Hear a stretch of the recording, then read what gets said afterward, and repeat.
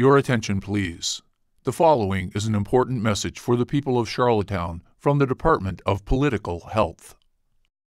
Kicking the habit isn't easy, but you can do it. Save our healthcare system. Save our country. Quit voting for Stephen Harper or Sean Casey.